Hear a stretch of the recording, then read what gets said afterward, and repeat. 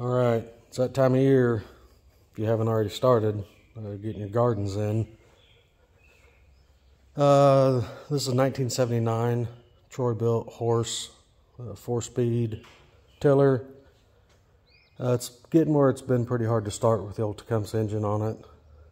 So I did pick up a Predator, six and a half horse. So we'll get that thing put on here, installed. Um, I did pick up a new set of tines. So we'll put a new set of tines on it. And this thing should be good as new. All right. All right, for starters, gotta take this throttle cable off. And then uh, this engine guard around here. It's got two bolts one here, one on the other side. And then that one down there in the center. Okay, this bottom bolt for this engine guard is a three quarter inch.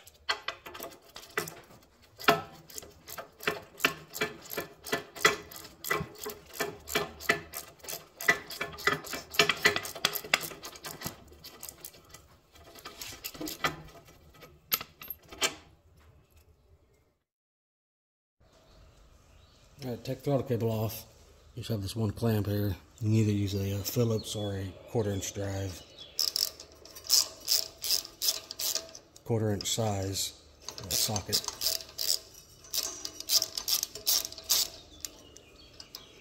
And once that's out of the clamp, you just twist it around and pop it out of that. Stick it up out of the way. Okay, the other two bolts for the engine guard. One's located here, one's directly across to the other side. They're both a 9 16 Get that taken off real quick.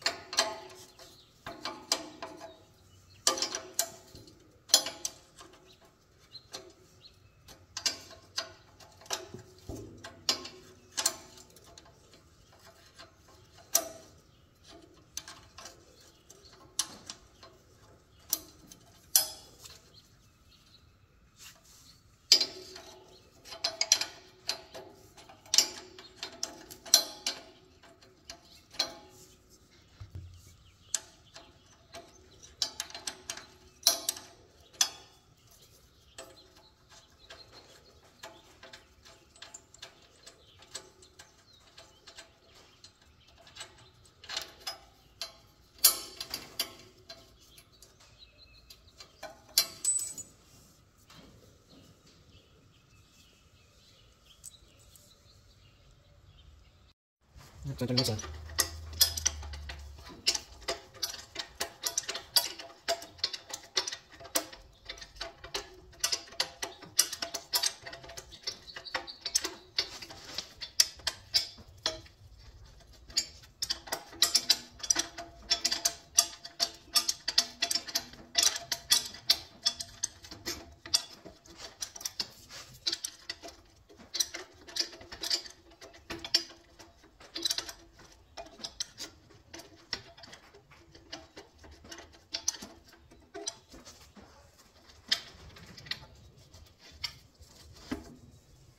second.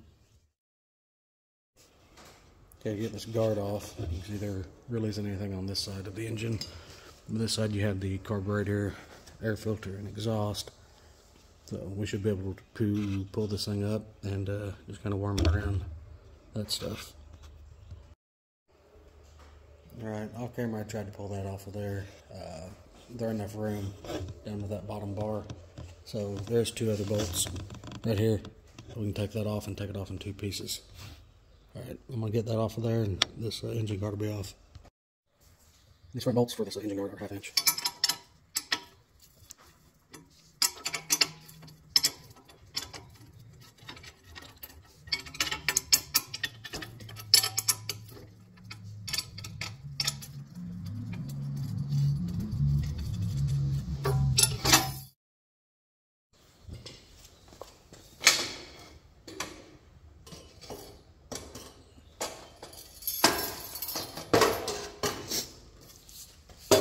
Managed to take it off by just loosening that bottom set of bolts that uh, you have enough room to drop down. Alright, everything's out of the way of the engine. Throttle cable, engine guard. The only thing holding this engine on is there's uh, four bolts. Two over here, two on the other side. They're both a uh, half inch head. And then you have the 9 16 head on this pulley right here. So we'll need to get that bolt out and start loosening up on these where we can get that pulley to pop off that shaft and then the engine will just come right off. All right. All right, to get the uh, 3 8 bolt out of the pulley here, you can see it just moves. So we're to need to put it in gear so we get some tension on this belt.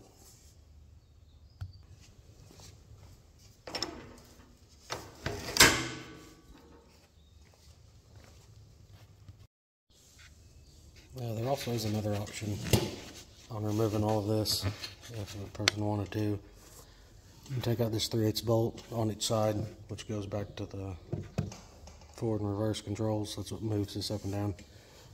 And then you could pull this jam nut off and this bolt out and drive these uh, pins out from each side. See the other one? Right there and then this whole thing will come off as an assembly. Um, I'm still going to try to take the pulley off and then bolt the four bolts from that. I don't know if that's going to be any quicker or slower, but that's what I'm going to try. Okay, this thing's still wanting to spin even in gear, so I've got a pair of pliers, smooth jaw pliers, because this is a this is a reverser and it's rubber. So I'm just going to use a pair of pliers to hold this other side while uh, I loosen this nut off, or this bolt.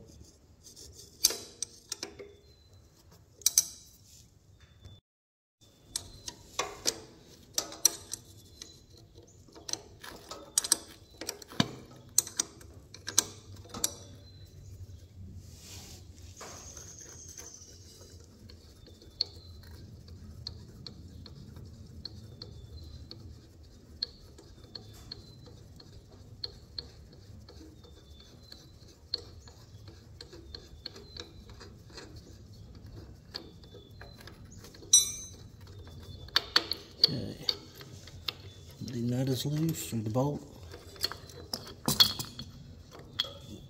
There's the reverser wheel. Now I need to try to get this to pop off of here. Looks like it's going to move, so lucked out there. Alright, well, I'm going to get this belt, put it back in neutral so there's a some looseness to the belt, pop the belt off, then I'll pull this pulley back where I can get to these four engine mounting bolts. All right.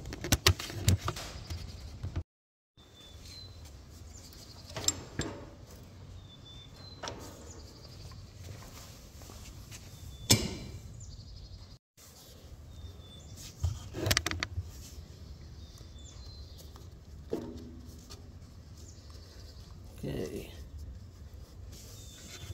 Belt is free. This pulley. The pulley's gonna slide right off, so see we got room here now to get these bolts out. So when we get down closer to the last ones, we'll just have to watch the engine so it doesn't fall off and pull the uh, finish pulling the pulley off the shaft and set the engine down on the ground. And these mounting bolts are a half inch.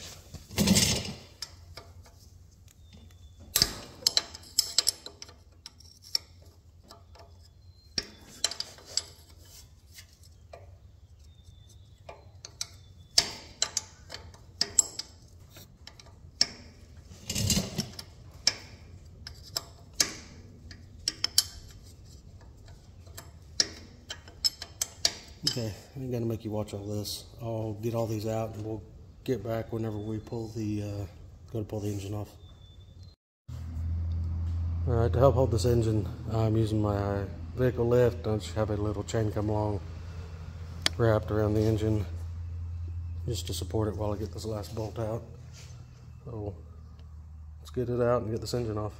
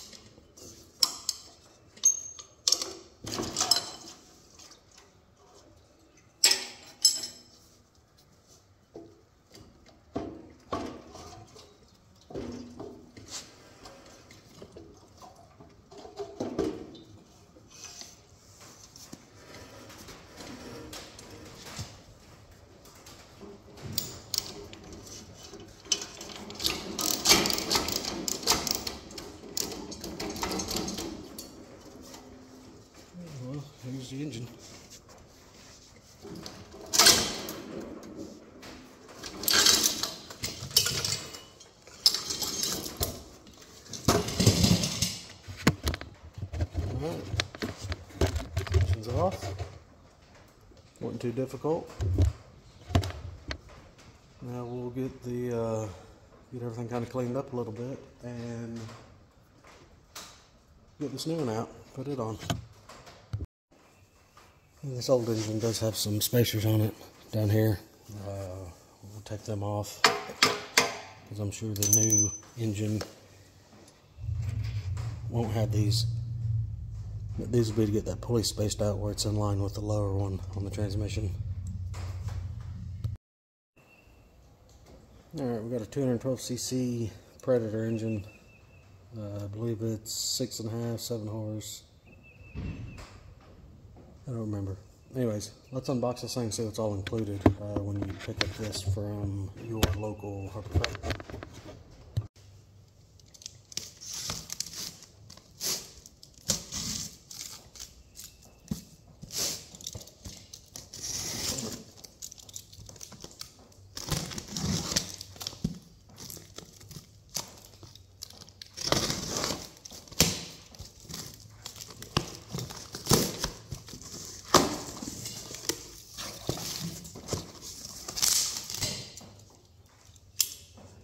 You got a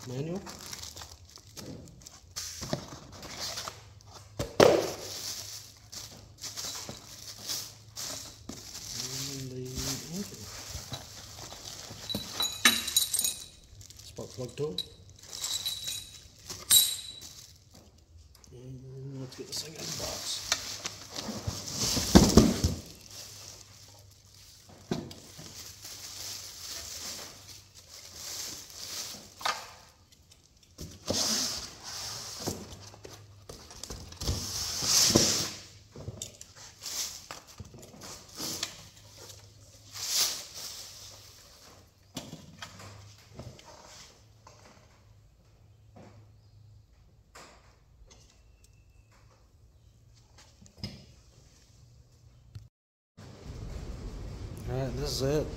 Uh, kind of surprised it didn't come with a uh, quart of oil, oil for it. That's okay.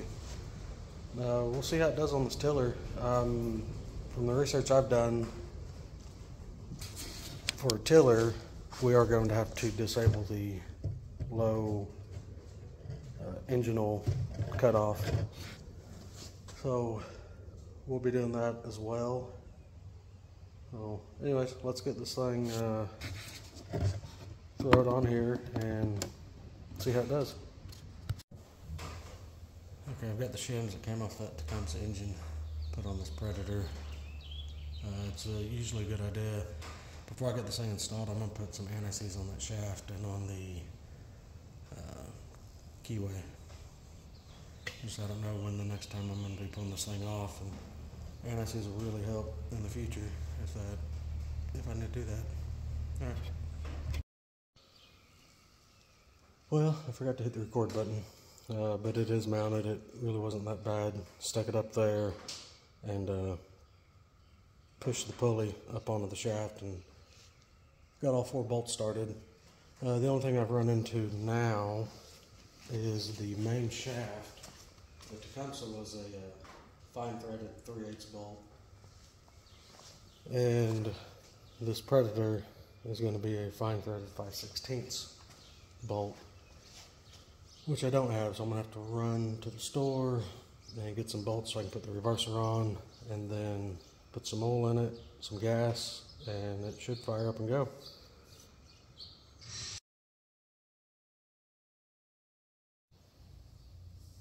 All right, went to the store. Uh, that was the original 3 8 fine threaded bolt.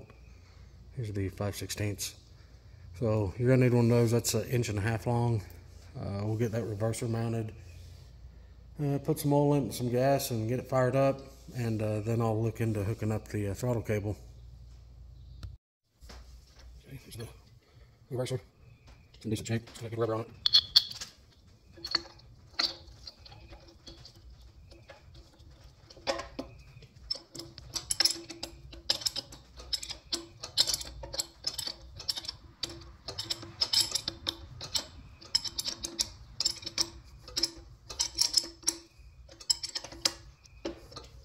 Some pliers on it. Again, like I did just.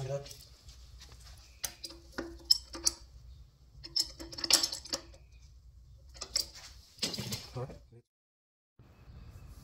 Alright. Next thing, I'm going to be putting some engine oil in it. The uh, book that came with the engine shows to use 10W30 for the temperature range that I'm in. Uh, it's supposed to take around half a quart. So uh, it does have a dipstick on each side. It shows, it's got a little picture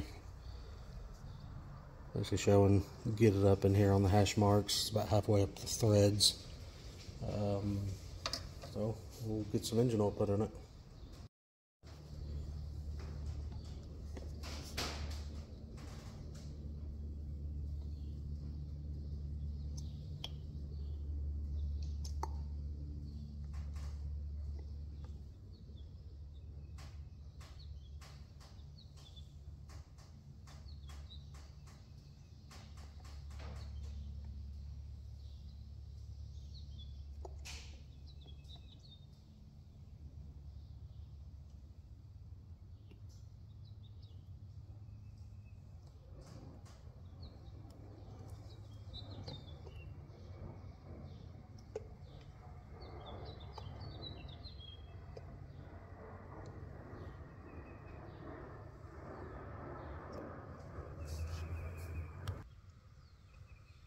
Alright, I did move the depth gauge all the way down and I added a board under that stop just to level out the engine for checking the oil.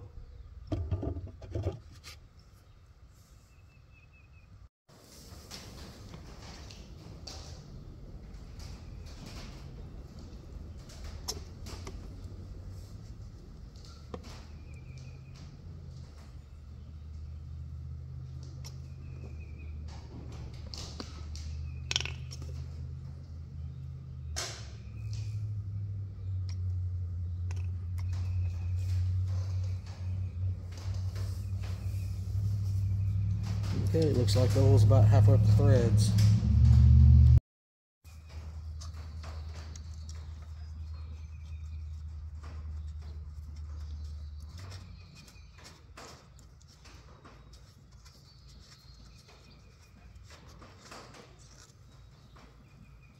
Okay, it's right up on the full mark. So we'll get some gas put in it and uh, get this thing fired up.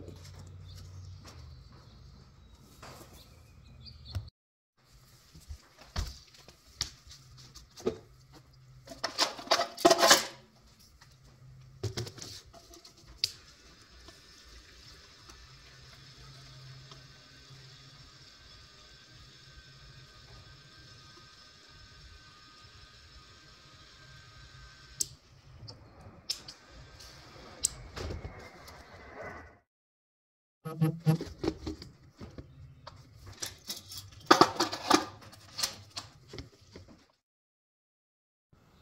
right, it's got oil in it. It's full of gas. Comes with this little quick start guide. Kind of shows you where everything's at. How to add the oil, how to start it. So let's get it started. Okay, the switch is on. The fuel shutoff is on. The choke.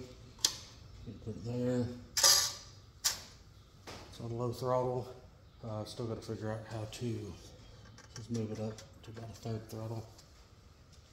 Uh, I need to figure out how to hook up the cable. I haven't looked into that yet, but let's uh, see how hard it is to start for this first start.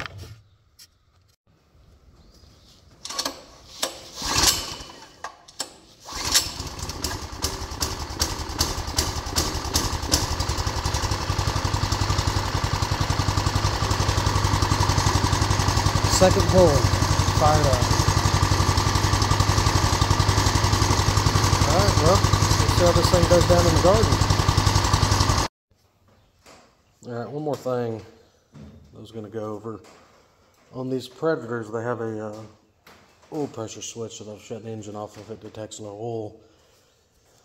Uh, I'm not usually a fan of bypassing stuff like that, but a lot of these tillers, whenever they're sunk in the ground, this engine's up at such an angle that oil will actually uh, quit being detected by that switch up there. So, uh, if that's the case and that does happen, then there's a yellow wire coming out of the side of the block that's actually going to the switch. And then it comes up to this box, yellow and black coming out of it, and running over to shut it off. But all you got to do to bypass it is unhook those wires and you're not going to have to worry about that being an issue but do that at your own discretion. Um, yeah if you run out of oil you've now lost your protection for it shutting itself off so use it as you will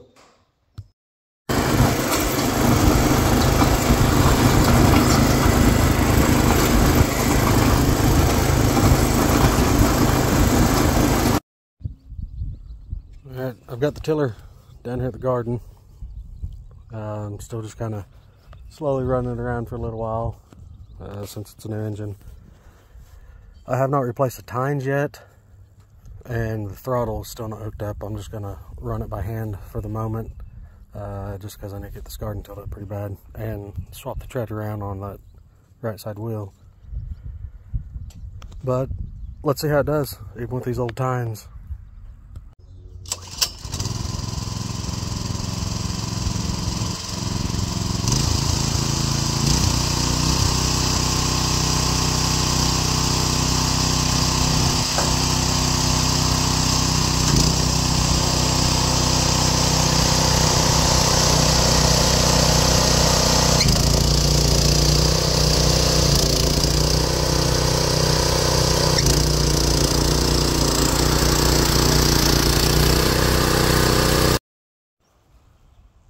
Alright, y'all can see I was having issues getting this thing to stay going forward.